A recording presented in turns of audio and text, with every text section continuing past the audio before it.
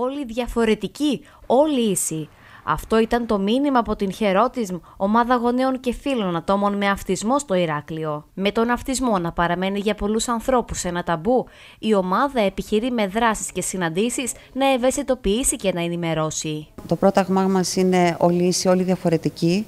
Ε, σε ένα σύγχρονο ευρωπαϊκό κράτος δεν αρμόζει να υπάρχουν ταμπού όπως είναι ο αυτισμός, που ακόμα είναι ταμπού, δεν θα θέλαμε, αλλά ακόμα είναι. Είναι και ένας ε, σκοπός του, της ομάδας αυτής να, να μεταφέρει αυτή τη γνώση, να μεταφέρει την πληροφορία στο, στον κόσμο, ειδικά στην ε, Περιφερική Ένωση Εροκλείου, η οποία ε, από ό,τι γνωρίζουμε δεν υπάρχει κάποια αντίστοιχη δράση, τουλάχιστον να είναι εξειδικευμένη σε αυτό το, στο, θέμα, στο φάσμα του αυτισμού.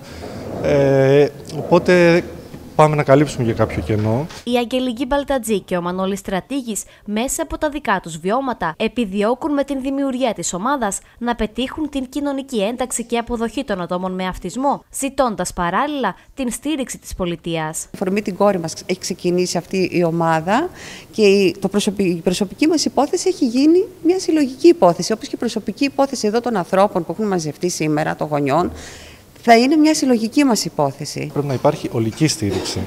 Ε, εκεί θέλουμε να καταλήξουμε. Ολική στήριξη και σε όλο το φάσμα της ζωής των παιδιών, των ανθρώπων αυτών. Από, από τη γέννηση, από την παρουσίαση τέλος πάντων, ε, από την αντίληψη ότι είναι στο φάσμα, μέχρι και όλη τη διάρκεια της ζωής του. Στο πλαίσιο της πρώτης ανοιχτής συνάντησης της ομάδας, γονείς παιδιών στο φάσμα του αυτισμού μοιράστηκαν προσωπικές ιστορίες, προβληματισμούς και ιδέες. Σε πρώτη φάση θέλουμε, το κάλεσμά μας ήταν ανοιχτό, κυρίως για τους γονείς σε πρώτη φάση, γιατί θέλουμε να γνωριστούμε, να γνωριστούμε ποιοι είναι όλοι αυτοί οι γονείς στην Περιφερειακή Ενότητα Ηρακλείου Κρήτης, που είναι το επίκεντρο δράσης μας, ε, που έχουν ανθρώπους αυτιστικούς, ανεξαρτήτου ηλικίας και ανεξαρτήτων διαφορετικοτήτων. Γιατί ο αυτισμός δεν είναι ένα μονοδιάστατο, μια μονοδιάστατη κατάσταση. Θέλουμε πάρα πολύ να, πρώτα απ' όλα να επικοινωνήσουμε μεταξύ μας, ε, γιατί είναι πολύ σημαντικό να βγάλουμε προς τα έξω οτιδήποτε νιώθουμε σε σχέση με τα παιδιά μας και επίσης θέλουμε